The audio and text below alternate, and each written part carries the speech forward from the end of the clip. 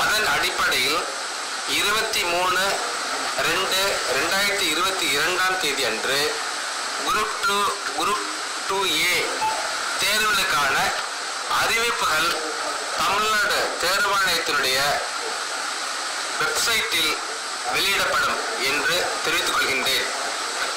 இந்த இருபத்தி மூணு ரெண்டு ரெண்டாயிரத்தி இருபத்தி ரெண்டுக்கு பிறகு மார்ச் இருபத்தி மூன்றாம் தேதி அன்று அப்ளிகேஷன் சமர்ப்பதற்குள்ள கடைசி நாள்.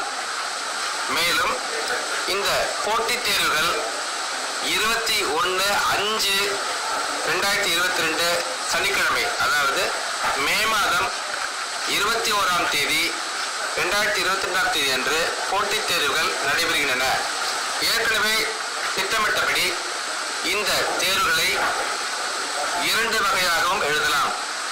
தமிழில் எழுத விளைவோர்களுக்கு தமிழில் நூறு கேள்விகளும் பொது அறிவில் எழுபத்தஞ்சு கேள்விகளும் ஆப்டிடியூட் என்ற அளவில் இருபத்தஞ்சு கேள்விகளும் ஆக மொத்தம் நூறு இருநூறு கேள்விகள் கேட்கப்படும். தமிழ் நூறு ஜென்ரல் சயின்ஸ் எழுபத்தைந்து ஆப்டிடியூட் டெஸ்ட் எழுபத்தஞ்சு ஆக மொத்தம் இருநூறு கேள்விகள் கேட்கப்படும்.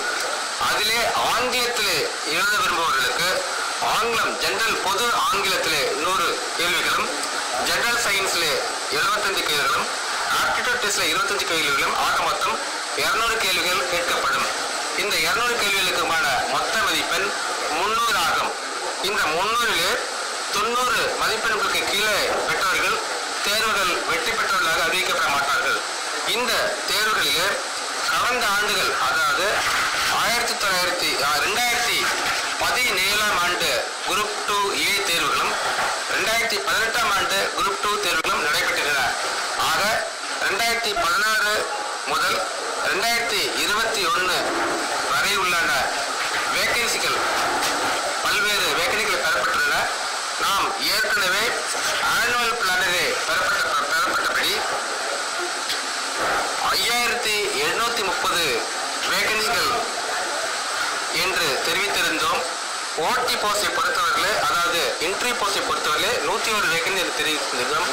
சில துறைகள் தங்களுடைய வேகன்சியை பெற்- திரும்ப பெற்ற அடிப்படையிலே இருபத்தி மூணு ரெண்டு ரெண்டாயிரத்தி இருபத்தி ரெண்டாம் தேதி அன்று அறிவிக்கப்படக்கூடிய போட்டித் தேர்வுகளுக்குள்ளான வேகன்சி அதாவது இன்டர்வியூ போஸ்ட் நூற்றி பதினாறு வேகன்சியாகவும் நான் ஓட்டி போஸ்ட் ஐயாயிரத்தி நானூற்றி பதிமூணு வேகன்சியாகவும்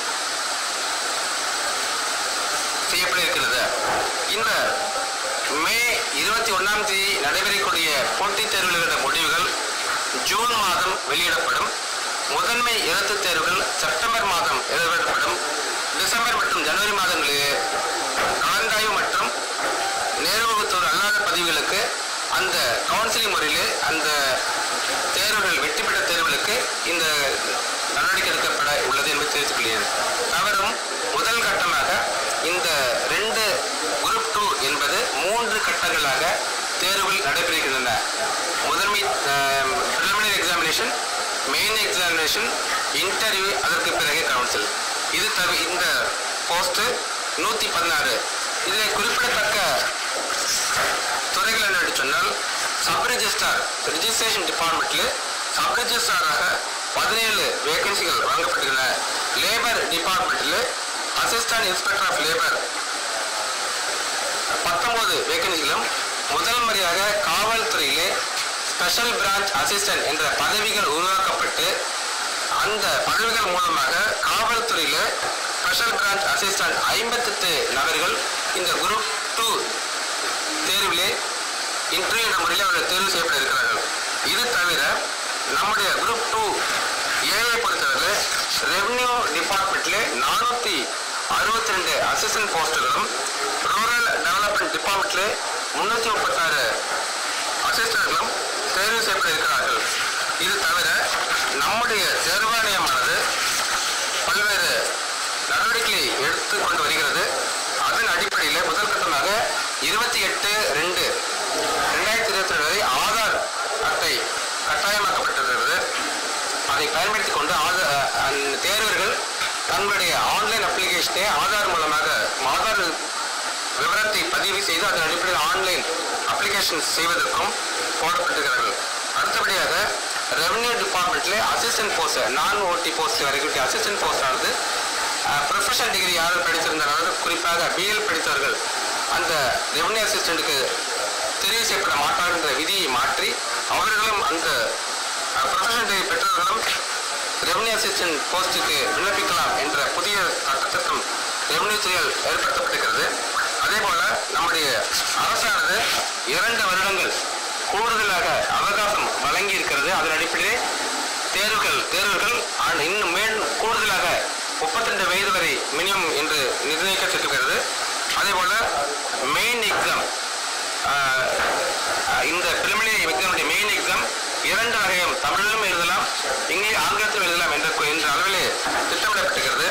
முதன்மை தேர்வானது தமிழகத்தில் உள்ள முப்பத்தி ரெண்டு மையங்களில் இருபத்தொன்று அஞ்சு இருபத்தி ரெண்டாம் தேதி அன்று காலை ஒன்பதரை மணி முதல் பன்னெண்டரை மணி வரை நூற்றி பதினேழு மையங்களிலே தேர்வுகள் நடத்தப்பட திட்டமிடப்பட்டிருக்கிறது. அதுபோல டிஎன்பிஎஸ்சி தேர்வுகள் காலையில் பத்து மணி முதல் ஒரு மணி வரை நடத்தப்பட்ட தேர்வுகள் இனிமேல் ஒன்பதரை மணி முதல் பன்னெண்டரை மணி வரை நடத்த திட்டமிடப்பட்டது மாலை நேர தேர்வுகள் எந்த விதமான மாறுதலும் இன்றி ரெண்டு மணி முதல் ஐந்து மணி வரை தேர்வுகள் நடத்த திட்டமிடப்பட்டிருக்கின்றன அதே போல பிலிமினரி தேர்விலே பிளாக் பெயின் பயன்படுத்த உத்தரவிட்டுள்ளோம் அதே போல் நம்முடைய எழுத்துத் தேர்விலே பிளாக் ஆர் ப்ளூவிங் பயன்படுத்திக்கும் பொழுது அது ஜெல் பென் பால் பாயிண்ட் போன்றவற்றையும் பயன்படுத்தலாம் என்ற புதிய திட்டத்தை அறிமுகப்படுத்தினோம் அதுக்கு இன்ஸ்ட்ரக்ஷன் டு கேண்டிடேட் அந்த விவரங்கள் எல்லாம் தெரிய வரும் என்பதை தெரிவித்துக் கொள்கின்றேன். கேள்வி இருக்கு. சார், இப்ப அண்மையில் நடந்த சட்டமன்ற கூட்டத்தொடர்ல ஆவின் உள்ளிட்ட பல நிறுவனங்களுக்கும் undertaking காப்பீடுக்கும் வந்து TNPSC தான் இருக்க போறோம்னு சொல்லிட்டாங்க. எந்தெந்த நிறுவனங்களுக்கு நீங்கள் வந்து recruitment பண்ண போறீங்க? புதுசா ஆரம்பிக்கிறீங்க. இது ஆமா. வெளியே வருதா? ஆமாம் இது அதாவது அஹ், சென்ற பதினைந்து ரெண்டு ரெண்டாயிரத்தி இருபத்தி ரெண்டாம் தேதி ஃபுல் கமிஷன் மீட்டிங் நடந்தது அந்த கூட்டத்திலே அரசினுடைய ஆணை முப்பத்தொன்று ஒன்று ரெண்டாயிரத்தி இருபத்தி ரெண்டு வெளியிடப்பட்ட ஆணையானது வைக்கப்பட்டிருக்கிறது. அதன் அடிப்படையிலே இந்த தேர்வுகள் அனைத்தையும் அனைத்து துறைகளுடைய அந்த போஸ்டை கிளாஸிஃபை பண்ண போகிறோம் group two group two A group four என்று கிளாஸிஃபை பண்ணிக்கிறோம். அந்த வேலை நடைபெற்று வருகிறது அடுத்த மூணு மார்ச் மூணாம் தேதி நடைபெறக்கூடிய ஃபுல் கமிஷன் கூட்டத்திலே அந்த அரசுடைய ஆணை தொடர்பாக எந்தெந்த துறைகள் மூலம் எந்தெந்த கார்பரேஷன் எலக்ட்ரிசிட்டி போர்டு முதற்கொண்டு எல்லா துறைகளுடைய சொசைட்டி முதற்கொண்டு எல்லா துறைகளுடைய தே- தேர்வுகளும் பணிய பணியாளர்களும் நம்முடைய டிஎன்பிசி மூலமாக தெரிவு செய்வதற்குண்டான வாய்ப்பை வழங்கியிருக்கிறார்கள். அந்த விவரம் மூன்றாம் தேதி உங்களுக்கு நம்முடைய டிஎன்பிசி மூலமாக ஒரு அறிக்கை மூலமாக உங்களுக்கு தகவல் தெரிவிக்கணும் ஏன்னா ஃபைனல் ஸ்டேஜ் இன்னும் ஆகலை. அந்த ஜியோ வந்துருச்சு. அதை வந்து எடுத்து செக்ரிகேட் பண்ணிக்கிறோம். எந்தெந்த குரூப்பில் வைக்கலாம்னு சொல்லிட்டு. ஏன்னா ஆவிலன் வந்திருக்கு எல்லாம் இது ஹவுசிங் போர்டு வந்திருக்கு எலக்ட்ரிசிட்டி போர்டு வந்திருக்கு.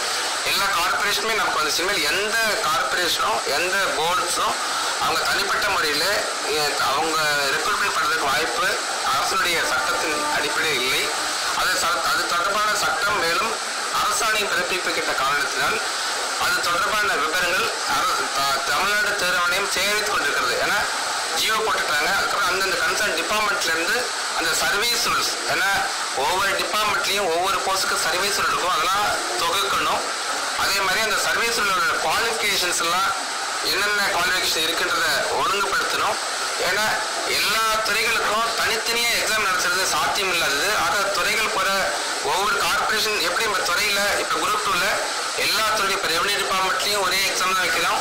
ஏன்னா குவாலிஃபிகேஷன் வந்து ஒரு டிகிரி லெவல் நம்ம வைக்கிறதுனால அதே மாதிரி அங்கே போகிறப்பையும் ஒவ்வொரு கார்பரேஷன் போர்ட்ஸ்லையும் உள்ள என்னென்ன தேவை இருக்கோ அதை பார்த்துட்டு அதன் அடிப்படையில் நம்ம கிளாசிஃபிகேஷன் பண்ணிவிட்டு சர்வீஸில் ஒழுங்குபடுத்தி அதன் அடிப்படையில் தேர்வு செய்ய திட்டமிட்டுக்கிறோம் அது அநேகமாக மே அந்த காலத்தில் உங்களுக்கு தகவல் தெரியும். எப்போ நடத்தப்படாது ஆனுவல் பிளான் நம்ம சேர்க்கிறதா இருக்கிறோம். மார்ச் மூணாம் தேதி இந்த தகவல் உங்களுக்கு தகவல் தரும். என்ன? செய்தித்துறைன்றது கார்பரேஷனோட கேட்டகரியில் வரல. இல்லை இருங்க வர கார்பரேஷன் கேட்டகரியில் வரல. அது துறை.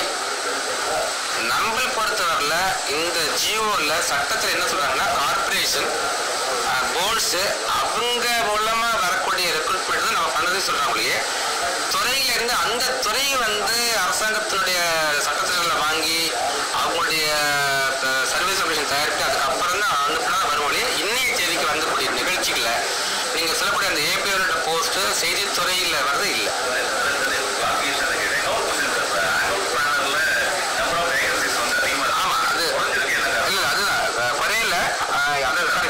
அதாவது இன்ட்ரி போஸ்டில் ஆனுவல் பிளானில் நூற்றி ஒன்று இருந்தது. இப்போ நோட்டிஃபிகேஷன் நம்ம பண்ண போகிறது என்ட்ரி போஸ்ட்டில் நூற்றி பதினாறு அதிகமாக இருக்குது ஒன்று ரெண்டாவது நான் என்ட்ரி போஸ்ட்டில் நம்ம இது நோட்டிஃபிகேஷன் பண்ணுறப்ப ஐயாயிரத்தி எழுநூற்றி முப்பது நோட்டிஃபிகேஷன் பண்ணோம். இப்போ வந்து ஐயாயிரத்தி நானூற்றி பதிமூணாக தரோம். இதில் இதில் வந்து நம்ம நோட்டிஃபிகேஷன் பண்ணுறப்பயே மூன்று சதவிகிதம் போஸ்ட் கோட்டாலாம் கொடுக்கணும். அப்படி பண்ணுறப்போது ஒரு முப்பத்தி மூணு போஸ்ட் ஒரு டிபார்ட்மெண்ட்டில் கேட்குறாங்கன்னா அதில் ஒரு போஸ்ட்டு ஸ்போர்ட்ஸ் கோட்டா போகும். அந்த முறையில் நூற்றி இருபத்தி நூற்றி அந்த ஐயாயிரத்தி எழுநூற்றி முப்பது நம்ம ஆனுவல் பிளானரில் போட்ட போது அதோட அந்த போஸ்ட் நம்ம எடுத்துடும் ஏன்னா ரெக்ரூட்மெண்ட்டில் நம்பர் ஆஃப் வேகன்சி சொல்கிற போது அந்த நூற்றி இருபத்தி நாலு போஸ்ட்டும் டிஃப்ரெண்ட் டிஃப்ரெண்ட் டிபார்ட்மெண்ட்டில் தனியாக எடுக்கப்பட்டிருக்கு. அது மாதிரி ரெண்டு துறைகளில் தங்களுக்கு இந்த ரெக்ரூட்மெண்ட்டில் பண்ண வேண்டாம்னு சொல்லி சொல்லியிருக்கிறாங்க. ஆனால் ஹெச்ஆர்என்சி டிபார்ட்மெண்ட்டில் ஆரம்பித்து சில துறைகள் தங்களுடைய போஸ்ட் வேணும் அப்படின்னு சொல்லி கேட்டுக்கிறாங்க. சிவில் சப்ளை டிபார்ட்மெண்ட்டில் டிரான்ஸ்போர்ட் டிபார்ட்மெண்ட்டில் சீனியர் கோஆப்ரேட்டிவ் டிபார்ட்மெண்ட்டில் வந்து இரநூத்தி ஐம்பத்தி மூணு போஸ்ட்டு புதுசாக எஸ்டிமேட் பண்ணி ஆட் பண்ணிக்கிறாங்க. ஏற்கனவே பட்ட இதில் பப்ளிக் ஒர்க் டிபார்ட்மெண்ட்டில் இரநூத்தம்பது வேகன்சியும் எம்ப்ளாய்மெண்ட் ட்ரைனிங் டிபார்ட்மெண்ட் ஐம்பத்தேழு வேகன்சியும் assistant section of law department அஞ்சு வேகன்சியும் அவங்க வித்ரா பண்ணுறாங்க அதனால அந்த வேகன்சி குறைஞ்சிருக்கு. ஆனால் இப்போது எல்லா துறையிலும் நம்ம கணினி எழுதுகிறோம். என்னென்னா ரெண்டாயிரத்தி பதினெட்டுக்கு பிறகு ரெண்டாயிரத்தி பதினெட்டுக்கு பிறகு இந்த குரூப் டூ டூ ஏ தேர்வுகள் நடத்தப்படவே இல்லை. அப்போ ஒரு ஸ்டேஜில் மூன்று வருடங்களுக்கு மேலே டைரக்ட் ரெக்ரூட்மெண்ட் போஸ்ட் ஃபில்அப் பண்ணலைன்னா அரசாங்கத்துடைய ஃபைனான்ஸ் டிபார்ட்மெண்ட்டில் ஸ்டாஃப் கமிட்டியுடைய ஒப்புதல் பெற்று வாங்கணும்னு சொன்னதுனால நம்ம எல்லாம் இந்த நம்ம நோட்டிஃபிகேஷன் பண்ணுறது கேட்குறோம் ஆனால் சில டிபார்ட்மெண்ட் கேட்குறாங்க இந்த நம்பர் இந்த எண்ணிக்கை ஐ நானூற்றி பதிமூணு இன்னைக்கு போடுற எண்ணிக்கை இன்னும் ஒரு ஐநூறுலேருந்து ஆயிரம் வரை கூட போகும்ன்ற நம்பிக்கை எனக்கு இருக்குது